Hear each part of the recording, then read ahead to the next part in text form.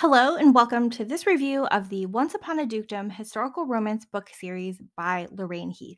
I'm Olivia, your new favorite resource for book recommendations you can easily screenshot, and you're watching Random Olive Reads. So, first, I'll go into a little bit of a series overview. It's three books that follow the events of the previous series. So, if you're reading Lorraine Heath's backlist, it ties together with her previous books. Now, I highly recommend that you read these three books in order because the sequence of events happens right after the other. And so we have our Stanwick siblings whose father has ruined the family because he was arrested for treason. And so all, all of their property, money, titles, everything was like reclaimed by the queen. And so they basically have to start over from scratch. There is a sister of the story, and she finds her love in a previous book. First up in this series is Scoundrel of My Heart, and we kind of start off with the lady of the series or the book who needs to marry a titled gentleman so she can claim her inheritance, which is like some small cottage that her grandmother left her. But she not really interested in marriage. She just wants to go to this cottage and live there forever.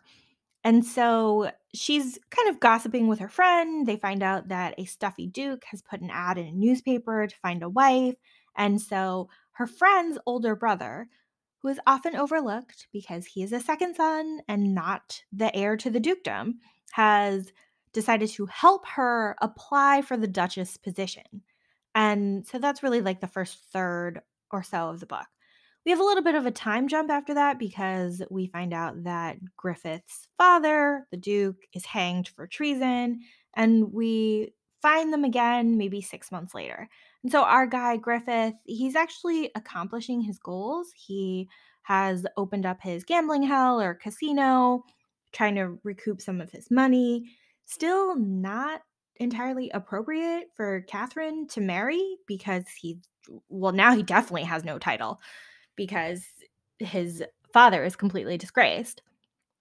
Catherine, meanwhile, is being courted by the Duke with the intent that he will someday propose. These two people can't seem to stay away from each other. Obviously, this best friend's older brother is the ideal match for her. And what I like about this book is some of the little plot details that happen earlier on in the book that are seemingly insignificant. They come back into play later on in a really sweet and thoughtful way. So, the second book is The Duchess Hunt, and we detour a little bit from that disgraced family to catch up with the jilted Duke from the last book. And so he is still looking for a wife. And this time he puts another advertisement in the newspaper. And instead of reading all of the applications and letters himself, he's decided, you know what, I'm just gonna have my secretary deal with it. She she can read all of the letters and tell me who to pick as a wife.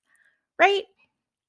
Um, the heartbreaking part is that she has been in love with him forever and can't do anything about it because she's a secretary and not at all Duchess material.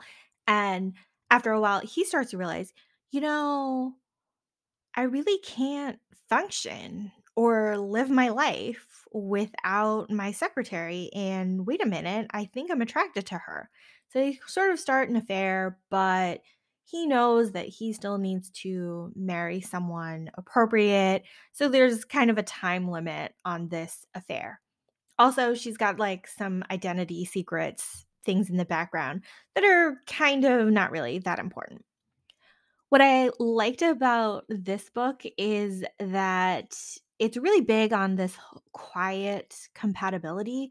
Like these two people just work really, really well together and anticipate each other's needs and it's really a strong partnership that they formed from working together all of these years. Also, all of the Duke's friends know that his secretary is like the most important person in, in his life, and this Duke was just like clueless the whole time. Um, we'll see these Duke's friends later in a future series, so I'm looking forward to that. Last up, we have The Return of the Duke, which is the third and last book of the series. We have the oldest son of that disgraced duke who he's got no money, no property, no future. So he might as well find out the truth about his father and figure out, like, hey, was this a setup or was my father really someone that couldn't be trusted? So he starts off at his father's mistress's house to get information. And it turns out that mistress wasn't really a mistress. She was just a cover story for the Duke meeting up with shady characters.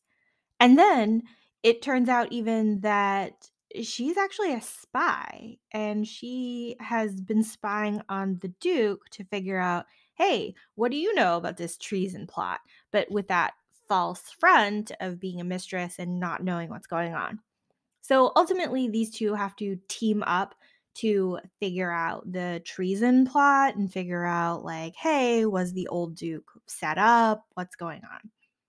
Overall, this story was not my favorite, mostly because the spy espionage plot is not my favorite, but overall, this whole series was really enjoyable. My favorite of the bunch was The Duchess Hunt because I love that whole strong partnership aspect of it, but you really can't go wrong. This whole series is really good.